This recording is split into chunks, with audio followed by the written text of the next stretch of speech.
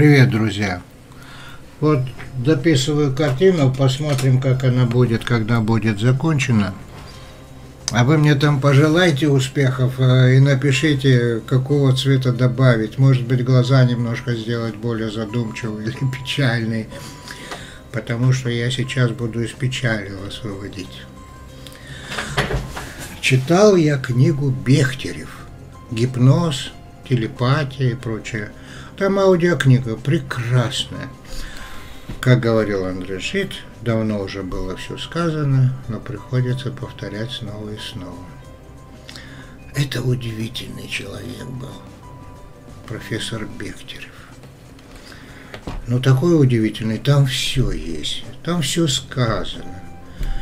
Но читать ее надо долго, я ее слушал в аудио, и вы тоже послушайте, и там сказано, что нет ни одного достоверного научного факта, что существует телепатия. Он там рассказывает о том, на чем основаны рефлексы, на чем основаны переживания, на чем основано кликушество, гипноз. Он очень серьезно занимался гипнозом. И вот он там заметил, что очень много людей, которые находятся в таком полуистерическом состоянии, как они легко выходят из этого состояния, когда у них и паники, и навязчивые идеи. Там женщина одна, она там по 10 раз мыла руки, умывалась все время.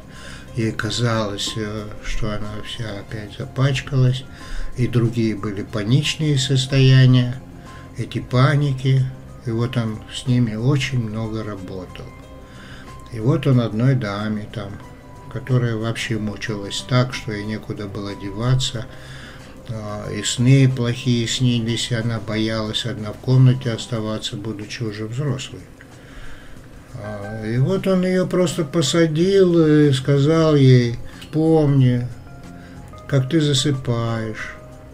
И монотонным голосом стал ей говорить, Вспоминай, когда ты засыпаешь, как засыпаешь.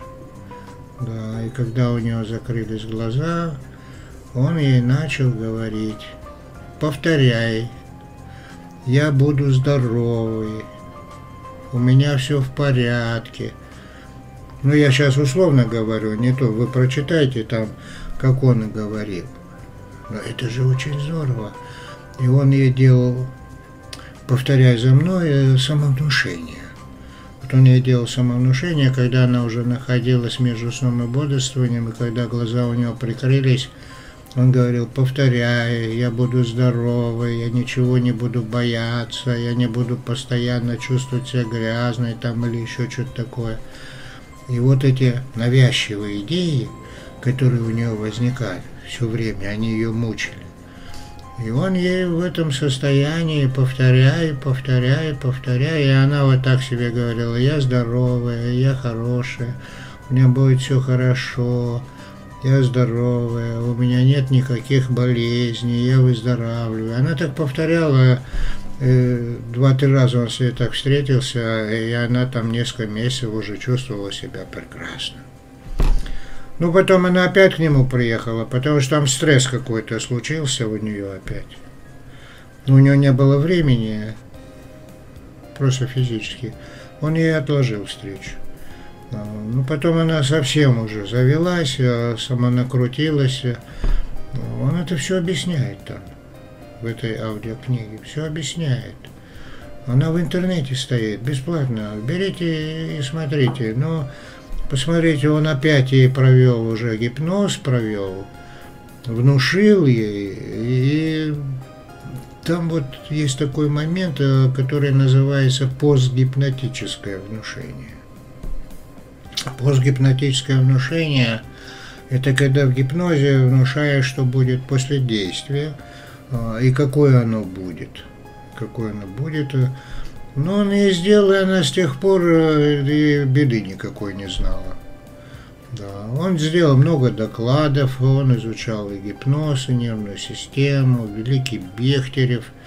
Ну, конечно, вот я 3-4 ночи подряд я это слушал, очень много информации, ну столько много информации.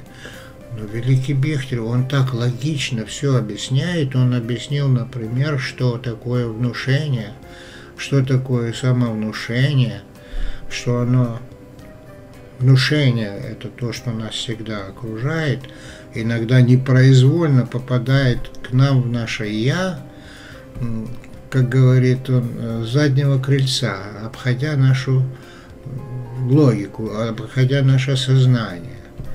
Да, вот он говорит, мы живем в этом социуме, мы живем в этой жизни, мы постоянно находимся э, в ситуации, когда невольным образом воспринимаем чьи-то идеи, невольным образом у нас иногда возникают какие-то идеи, они застревают.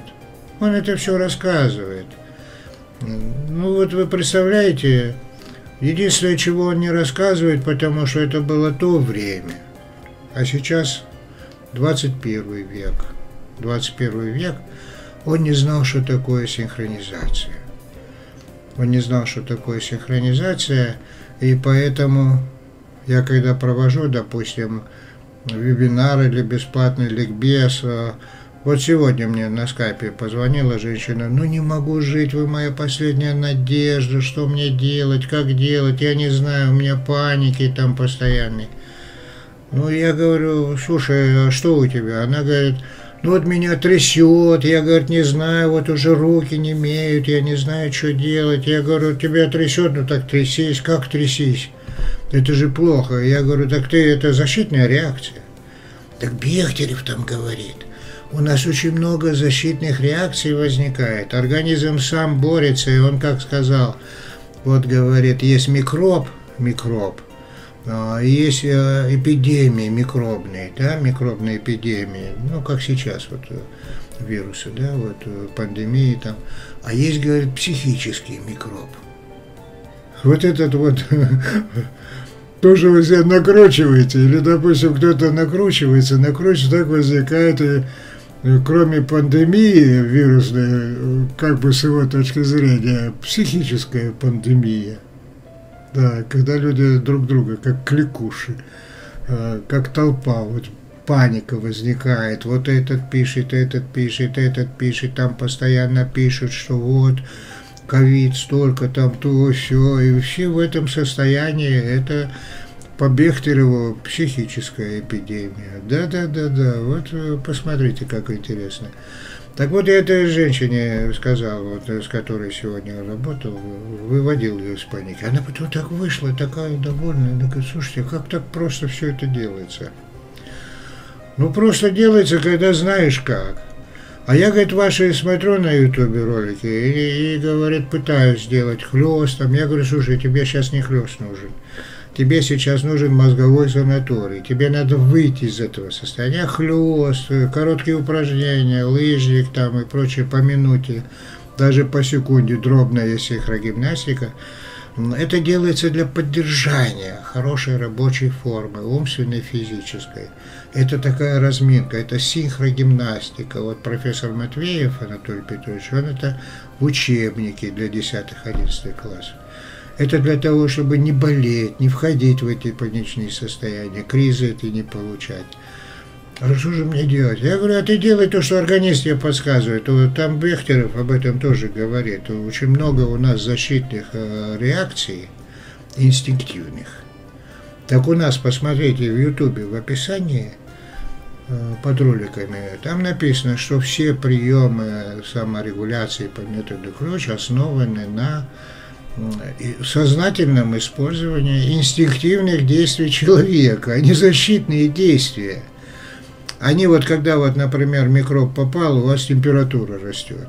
Так то же самое это, когда вот, допустим, у вас нервное напряжение, у вас тоже возникает дрожание, нервная дрожь, спортсмены говорят, мандраж там какой, ну, там на экзамене или перед соревнованиями. Ну, и вот когда она усиливается, надо дома бы это сделать. Я взял, вот у тебя что там происходит, я у нее спрашиваю. Она говорит, руки вот так трясутся, я их пытаюсь унять. Да нет, ты тряси, тряси, говорю, это есть синхронизация. э, в резонансе соответствующее вот с этим у тебя нервное напряжение повысилось, э, и организм пытается повторяемыми действиями его снять. Как температура повышается против микроба, для того, чтобы бороться с микробом. Ну, там до определенного, там до 38,5 э, можно не принимать лекарств, чтобы организм боролся с микробом. А дальше, конечно, надо принимать, потому что там уже предел, констант, там уже а, а, для здоровья опасно. А до 38 э, там полезно, полезно, как, как раз полезно.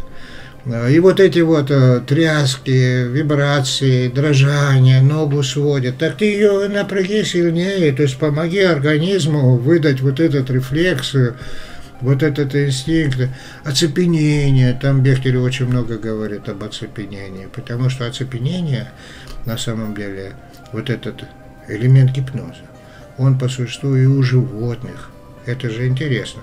Когда берешь курицу, например, резко переворачиваешь, она же в стресс попадает, у нее возникает такое возбуждение нервной системы, что вот этот пик напряжения, когда через предел переходит, наступает оцепенение, торможение. Так вот, гипноз – это элемент торможения, это тормозная реакция. Э, стратегически она спасла много животных в момент страха. Э, оцепенения. Это инстинкт выживания, самосохранения. У нас есть оцепенение, беги, бей, инстинкты выживания.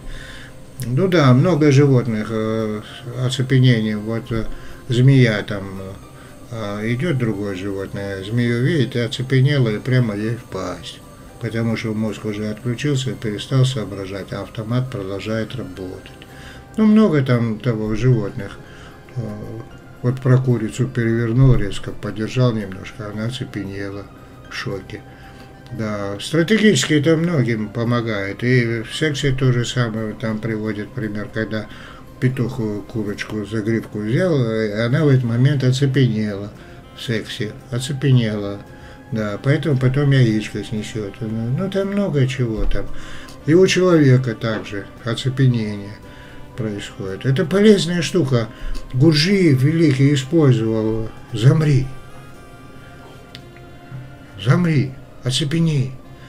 Он использовал как прием, но чем отличается обычное инстинктивное оцепенение от упражнения Гурджиева, от действий Бехтерева, от метода ключ.